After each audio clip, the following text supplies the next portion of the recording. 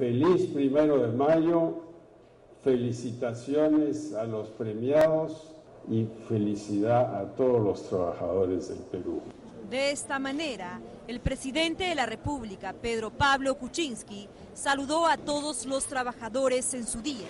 En una ceremonia en Palacio de Gobierno, el mandatario se refirió a la problemática del empleo informal en el Perú. Según el INE, casi el 70% de los trabajadores peruanos son informales. El trabajador informal que se resiste a que le quiten el 10% que va al seguro social, el empleador que se resiste a poner el CTS, hace que el 25% solamente de la fuerza laboral sea formal. PPK dijo que otro tema que le preocupa es la salud en el sector público. Incluso contó que cuando era ministro de Economía en el gobierno de Alejandro Toledo, no contaba con seguro de salud.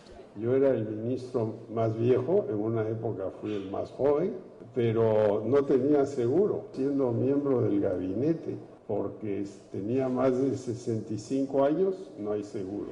El jefe de Estado manifestó que en el Perú no existe un verdadero sistema de pensiones de jubilación.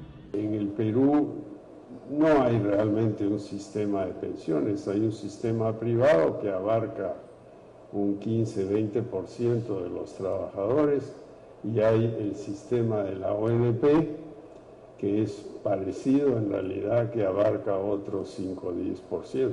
Acompañado por el ministro de Trabajo, Alfonso Grados, el presidente de la República condecoró con la Orden del Trabajo a personalidades que contribuyeron a la promoción del empleo.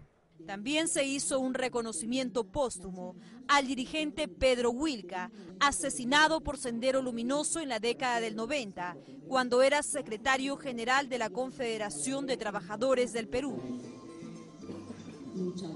Y esta